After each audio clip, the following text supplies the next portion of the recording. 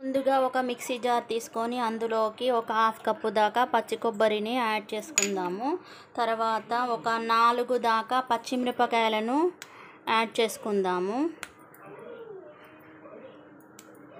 ఇందులో మధ్యలకు కట్ చేసి యాడ్ చేసుకుంటున్నాను నేను. ఇందులోకి ఒక కట్ట దాకా కొత్తిమీరను యాడ్ చేసుకుంటున్నాను నేను. తర్వాత ఇందులోకి ఒక హాఫ్ టీ స్పూన్ దాకా సాల్ట్ను యాడ్ చేసుకుంటున్నాను. ఎందుకంటే మిర్చి చేదెక్కుతుంది కదా అందుకోసమే. ఒక నిమ్మకాయ సైజ్ అంతా చింతపండును కూడా ఇందులోనే యాడ్ చేసుకుంటున్నాను నేను.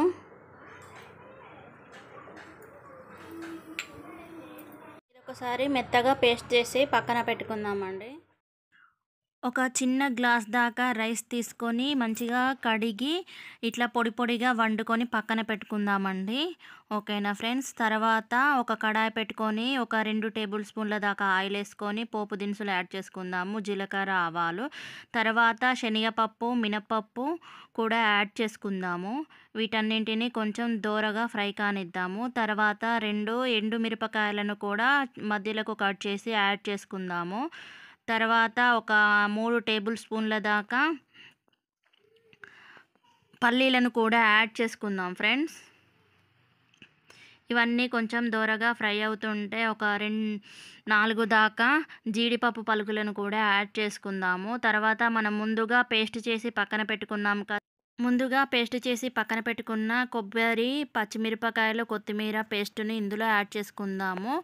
ఓకేనా ఫ్రెండ్స్? ఇదంతా కొంచెం దోరగా ఫ్రై కానిద్దామండి. పచ్చివాసన పోతే సరిపోతుంది.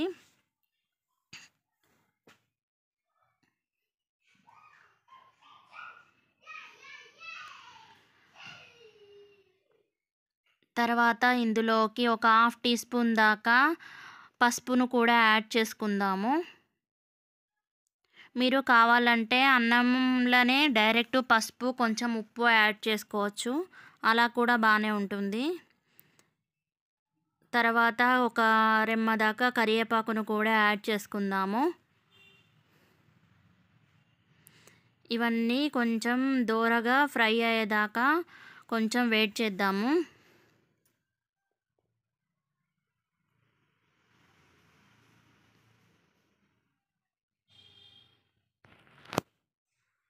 తర్వాత ఇందులోకి సాల్ట్ను కూడా యాడ్ చేసుకుందాము. మనం ఫస్ట్ పేస్ట్లో కూడా కొంచెం సాల్ట్ యాడ్ చేసుకున్నాను. అందుకే ఇందులోకి ఒక హాఫ్ టీ స్పూన్ దాకానే యాడ్ చేస్తున్నాను.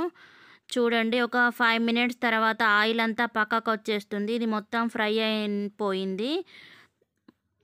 ఇప్పుడు మనము ముందుగా ఉడికించి పక్కన పెట్టుకున్నాం కదా రైస్ను ఇందులోకి యాడ్ చేద్దాము.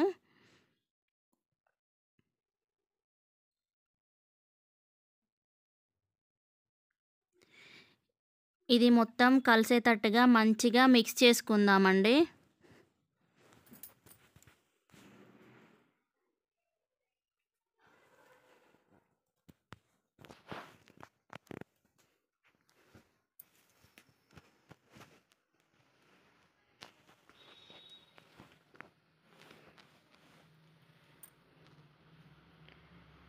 ఎక్కడ కూడా గడ్డలు లేకుండా మంచిగా మిక్స్ చేసుకుందాము. మధ్య మధ్యలో కొబ్బరి తగులుతూ ఉంటే చాలా అంటే చాలా బాగుందండి.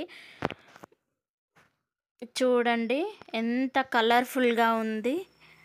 ఫుల్ గ్రీనరీగా కనబడుతుంది కదా. చూడండి ఫ్రెండ్స్ ఈ వీడియో గనక మీకు నచ్చినట్టయితే లైక్ చేయండి షేర్ చేయండి. ఫార్వర్డ్ చేయడం మాత్రం మర్చిపోకండి. Please subscribe my channel bye bye friends ఈ నెక్స్ట్ వ్లాగ్ ఎమ్మి ఎమ్మి అయిన చిత్రాన్నం రెడీ అయిపోయిందండి. Bye bye